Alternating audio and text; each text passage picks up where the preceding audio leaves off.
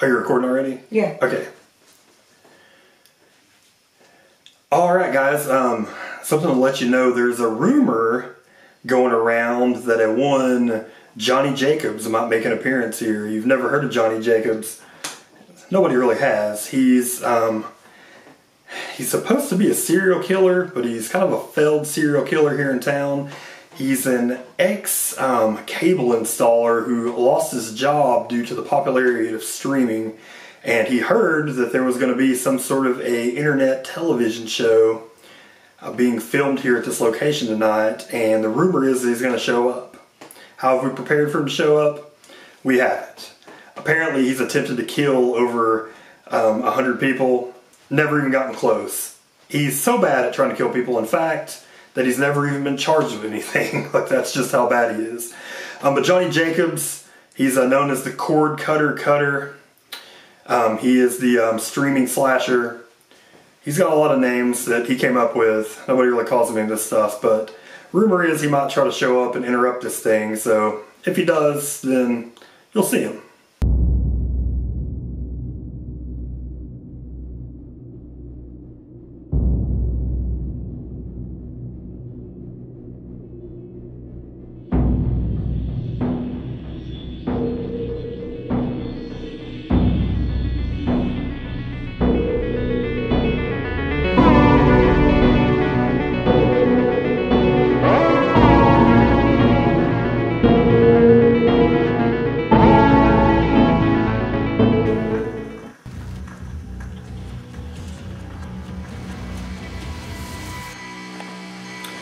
Welcome to Graphic Content, episode one from season one. I'm your host, Muji, known as the Great Muji. If you want to follow me on Twitter and uh, hear about one tweet per month, you can follow me at the Great Muji if you like a little lack of content. But uh, what we're going to do here is every show we're going to talk about some sort of comic book is going to be the main thing. We may get into the books. There's only so many horror comics. But um, first up, we're going to be talking about some different Halloween comics. Figure new Halloween movies coming out. Perfect time to go over some of my childhood favorites. So let's stress childhood favorites. We're gonna we're gonna really more talk about how much we love them, not talk about so much some of the bad stuff in them because some of these they have some bad stuff, but some of the stuff is so bad we're just gonna have to bring it up. So the first one we're gonna be talking about right here. You saw Halloween one. Halloween 1, which came out in the year 2000. It is a set between uh, Halloween 6 and then Halloween H2O, so right after Halloween 6. It's actually uh, co-written by Phil Nutman, great name, and Daniel Farrands, who was the writer of Halloween 6, also known as the abortion Halloween 6. Um, and then we had some art by David Brewer. The gimmick on this is it's a continuation of Tommy Doyle's story. Um, Tommy Doyle has decided to write a book about his history with Michael Myers and you know all the events that happened since his childhood up till now.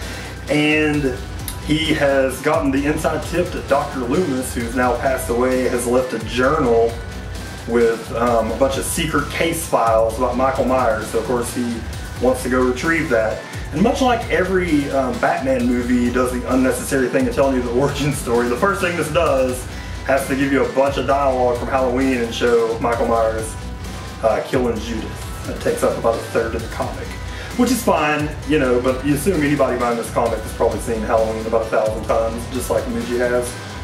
Um, and then that's basically the rest of the comic is Tommy is going and uh, getting the journal. Of course, Michael's alive. He starts talking Tommy. You get to find out some great things from uh, Michael's past, which this is supposed to be in canon with the Halloween movies. I'm sure now with like Blumhouse involved and the different stuff, it's probably no longer any sort of canon. Back then they made a big deal about the fact that this was stories accounted.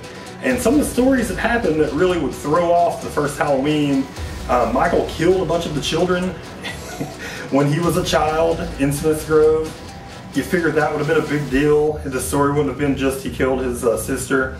Another giant one, Dr. Loomis has a fiance in this. That's right, a fiance who Michael murders at a Halloween party. Child Michael kills his fiance, and that's never brought up ever again. It's just something that happened they don't talk about at all. Um, there are some cool kills in the in the uh, in the actual comic, so I do recommend it. It's a good comic if you're a big Halloween fan like I am.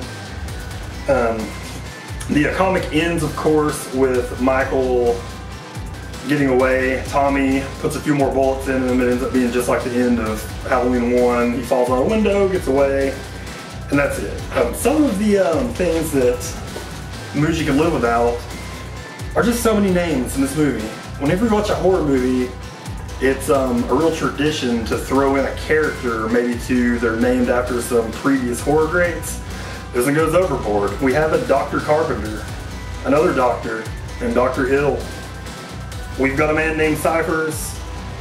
Um, we've got just about 10. We're not going to go over all of them, but almost every character in here is somebody who worked on the first Halloween uh, movie. But it's fun comic. Like I said, it's nothing really original. It's just Tommy trying to figure out what was going on with Michael. Michael gets away. Um, it's really kind of a retelling of Halloween 1, just set with Tommy as Dr. Loomis instead. But if you like Halloween, still recommend it. And uh, that's going to be it for the first episode of Graphic Content, and um, we'll see you next time.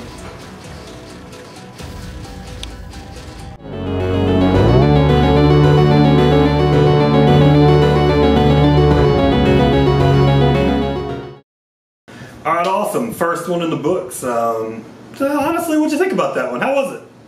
Eh, not good. Damn it. Yeah, I mean, you know, I don't really like being in front of the camera. I'm just kind of do this so that we have extra content so we can fill that thing up. I mean, uh, what do you think I could have done better? I mean, you look down a lot, so, you know, maybe work on that a little bit. But it's the first episode. It'll definitely get better. Looks like he's here.